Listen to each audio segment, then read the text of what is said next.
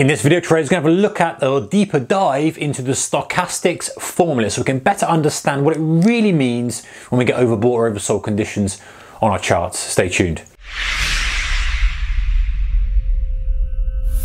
Hey guys, warm welcome to you. All right, so I think it's time that we drill down into a little bit more the formulas behind the indicators because there's a danger, and I found myself falling into this trap before years ago where you just go, the indicator says this. I'm not really understanding what is the indicator actually telling me. And sometimes it pays dividends to actually look at the formula and work out exactly how it would adjust your indicator based on different conditions. And then you can start to think about when the formula or the indicator is useful and when it's not. Now, moving average are very simple, guys. You know, we just take an average of 20 day, whatever period we've got, and that's just plotted there. So every hour time updates, we understand the average is pretty easy. When we get to things like stochastics, it's not so obvious unless you dig around exactly what happens. Now we know that very often on our chart, we can be overbought for a long period of time, we can be oversold for a long period of time, and often we get kind of overbought, oversold conditions back and forth.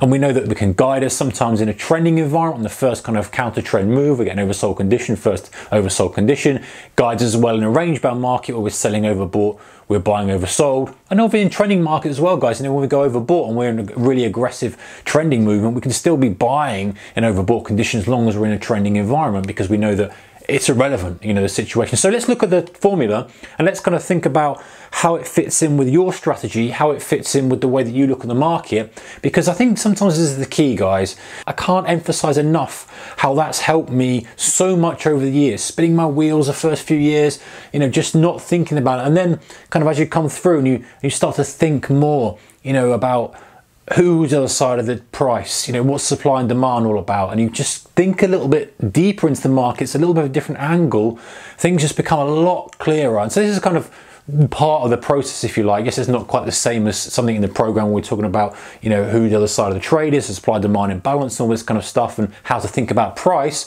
But this is still the same theory. We're thinking about what this indicator is actually telling us. So let's have a look at the indicator, guys. So percentage K, percentage D. We know the rules now. Obviously, we have different settings and stuff, but generally speaking, we're going to say we're on a default setting which is 14 period. That's what most people have a stochastic on.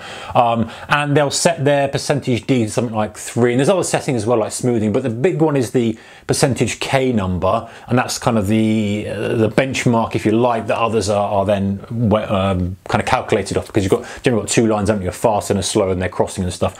Forget about that for now. Look at percentage k.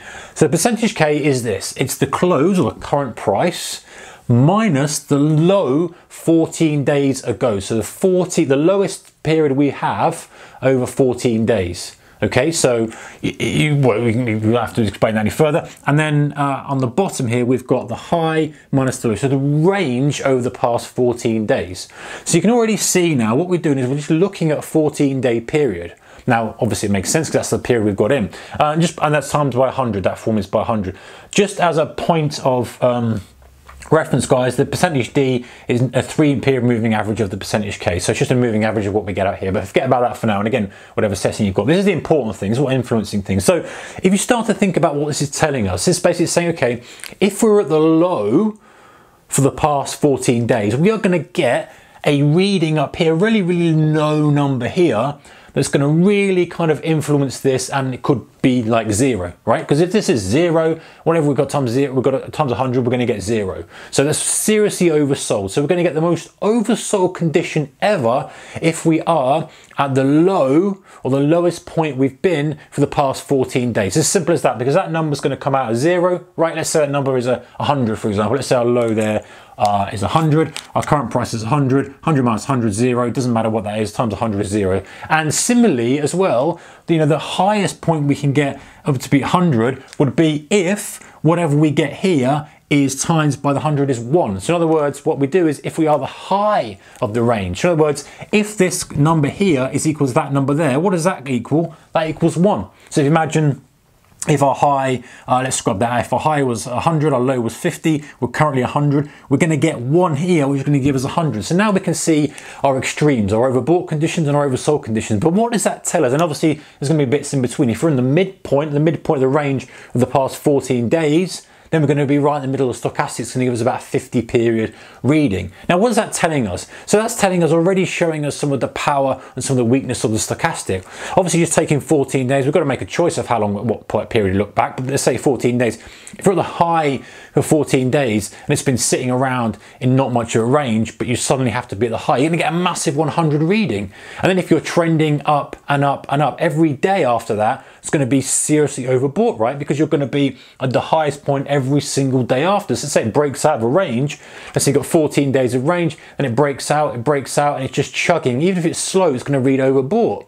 But then, you know, you start to think, well, is it really overbought? We're just starting to get going. So that's kind of the vulnerability of the stochastic. Now, if you're in the range and you can't back, back into the range, you're going to literally have this oscillating between 0 and 100, which is where it works very, very well because it's giving you a visual representation, it's normalizing it for 100 at max, 0 for the min, and you can kind of see where it's going. So even if it stretches out the range for a little bit and then curls back in, that's still going to reset the stochastics to the 100 point and then come back down again. So you start to see how it will adjust and reflect. But one thing to point out, guys, is that, you know, if you imagine this scenario here, and again, always be mindful of my charts, drawing my skills uh, for drawing charts, fortunately, aren't quite as good as my trading. But this we ignore because we don't know what we've got yet. So this is our first 14th candle. So now we're looking back and we're saying, okay, well, actually, here's our close here. We're almost at high, so we're going to have a stochastic, whatever percentage that is of the move. So it's at 50, it might be like a 60, 65 reading.